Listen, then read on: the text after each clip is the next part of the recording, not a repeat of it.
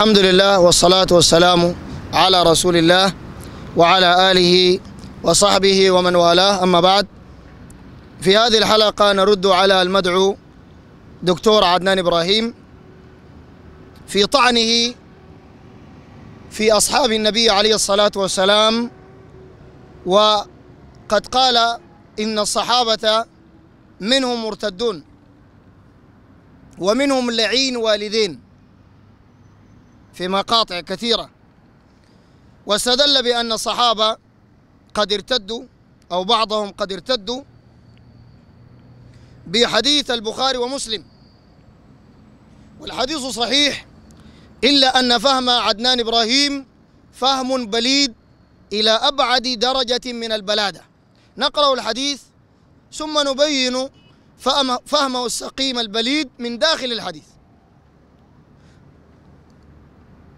حديث أنس وجاء بروايات كثيرة عن كثير من الصحابة. ابن مالك أن النبي صلى الله عليه وسلم قال ليردن علي الحوض رجال ممن صاحبني حتى إذا رأيتهم ورفعوا إلي اختلجوا دوني فلا أقولن أي ربي أصيحابي أصيحابي. وفي رواية وهي التي أتى بها المدعو عدنان أصحابي أصحابي. فليقالن لي إنك لا تدري ما أحدثوا بعدك. وفي رواية لقد غيروا وبدلوا. فأقول سحقا سحقا لمن غير وبدل بعدي إلى آخرها من الروايات. قال الدكتور عدنان إبراهيم هذا الحديث قال يدل على أن هناك صحابة مرتدين. صحابة مرتدين. لاحظ هذه الكلمة. صحابة مرتدين. هم صحابة وهم مرتدين. ثم قرأ كلاما للشيعة. وهذا من أعظم الأدلة على أن هذا العدنان شيعي رافضي مجرم. ولو أبى ذلك. قرأ كلاما للشيعة.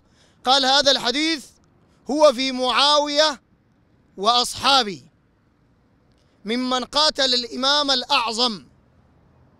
فهذا هو كلام الشيعة الرافضة. طيب نرجع للحديث ثم نرد.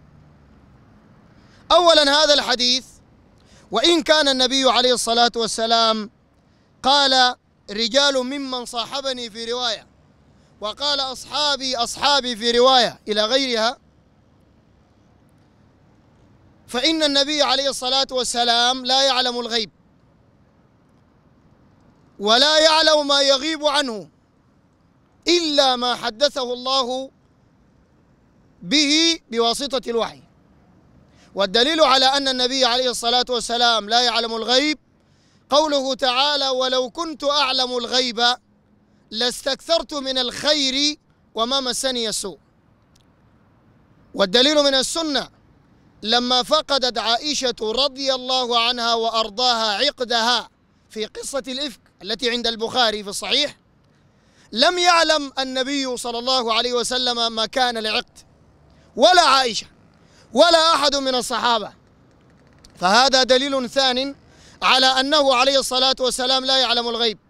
وأيضا في صحيح البخاري قالت عائشة رضي الله عنها من حدثك أن محمدا يعلم الغيب فقد كذب لأنه يقول لا يعلم الغيب إلا الله. من الذي يقول؟ رسول الله صلى الله عليه وسلم. وفي الصحيح أيضا قال النبي عليه الصلاة والسلام مفاتح الغيب خمس لا يعلمها إلا الله. لا يعلم ما في غد إلا الله ولا يعلم ما أحد متى يأتي المطر إلا الله. إلى آخر الحديث. فإذا علمنا هذا فإن النبي عليه الصلاة والسلام قال في هذه الرواية ليردن علي الحوض رجال ممن صاحبني. ففي هذه الرواية يثبت أن هؤلاء الذين أتوا صاحبوه صاحبوه فعلا. ولكن في نهاية الحديث قال قالوا له إنك لا تدري ما أحدث بعدك فقال سحقا سحقا. وفي رواية ثالثة قالوا له لقد ارتدوا على أدبارهم القهقرة. ارتدوا. قال الإمام النووي رحمه الله تعالى وأما أصيحابي فوقع في الروايات مصغرا مكررا وفي بعض النسخ أصحابي أصحابي مكبرا مكررا. قال القاضي هذا دليل لصحة تأويل من تأول أنهم أهل الردة ولهذا قال فيهم سحقا سحقا ولا يقول ذلك في مذنبي الأمة بل يشفع لهم ويهتم لأمرهم. قال ده دليل لصحة من تأول لصحة تأويل من تأول أنهم أهل أهل ماذا؟ أهل الردة. أهل الردة. يعني نعم هم آمنوا وصحبوا النبي عليه الصلاة والسلام إلى أن مات. ثم ارتدوا.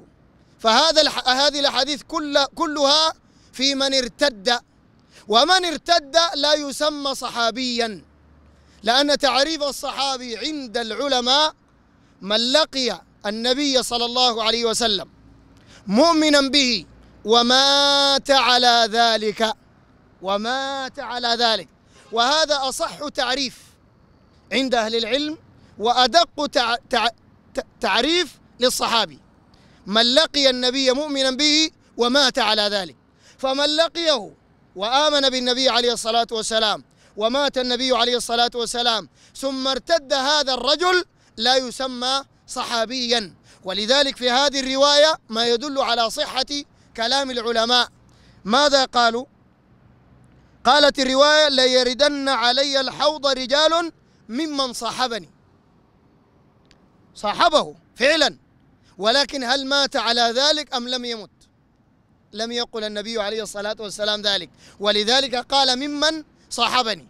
ويرد على هذه الرواية على هذه الشبهة أيضا الرواية الثانية. قال أصيحابي أو في هذه الرواية في نهايتها قال أصيحابي أصيحابي بالتصغير بالتصغير. ولذلك قال القاضي عياض هذا دليل أصيحابي أصيحابي دليل لصحة تأويل من تأول أنهم أهل الردة. ولذلك صغرهم النبي عليه الصلاة والسلام وقال أصيحابي أصيحابي أما رواية أصحابي أصحابي فهو لا يعلم الغيب.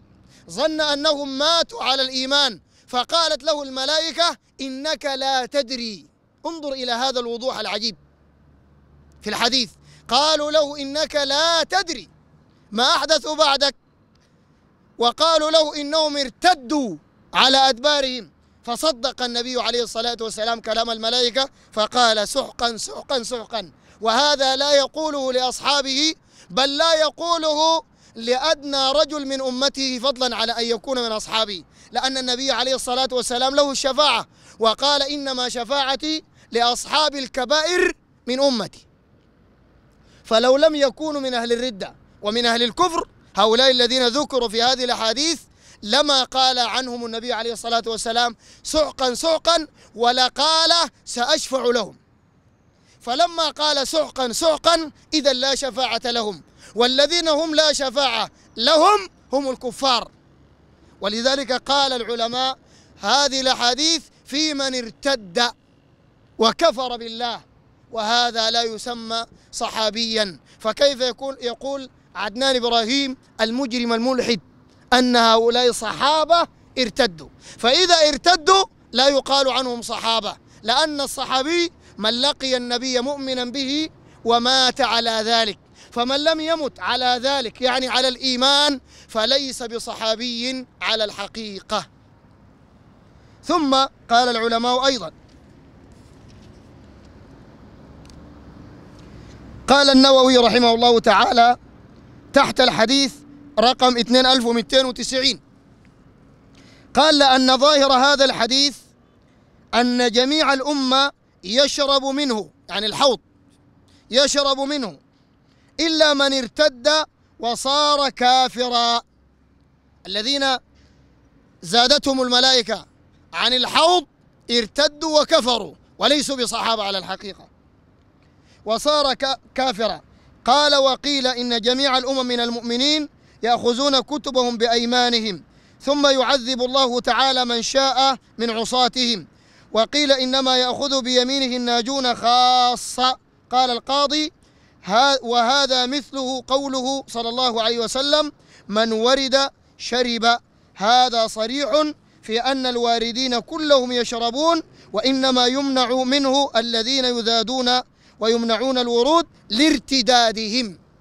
لشنو يا جماعة؟ لارتدادهم الكفار وليسوا بمؤمنين. فضلا على أن يكونوا صحابة. انظر إلى هذا العدنان الملحد. أراد أن يطعن في أصحاب النبي عليه الصلاة والسلام ويصفهم بالردة ويأتي بهذه الأحاديث. وعرفنا معناها صحيح أولا. ثانيا من تناقض هذا العدنان أنه ينكر جميع الأحاديث التي في البخاري والتي في مسلم ويكذبها. ولكنه إذا وجد حديثا ظن أو زعم أنه يخدم بدعته وهواه وهو قد كذب في ذلك الظن يأتي بهذا الحديث ويصححه بهواه. يقول هذا الحديث صحيح اتفق العلماء على صحته وينكر كل الأحاديث التي في البخاري ومسلم. أليس هذا الرجل مجرم من المجرمين الكبار الذين يريدون أن يهدموا دين الإسلام؟ والله هو من قادتهم.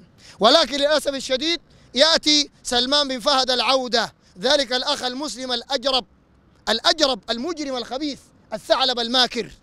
يأتي ويمدح هذا الرجل ويقول هو عالم وهو وهو وهو ويأتي أيضا طارق السويدان والأخ المسلم الآخر الخبيث. الذي قال يجوز الاعتراض على الإسلام ويجوز الاعتراض على الدين ويجوز الاعتراض حتى على الله ورسوله. قال أنا ما عندي فيه مشكلة. يأتي ويؤيد هذا العدنان إبراهيم. لماذا؟ لأنه يتفق معه في الإلحاد وفي هدم الإسلام وفي هدم منهج النبي عليه الصلاة والسلام.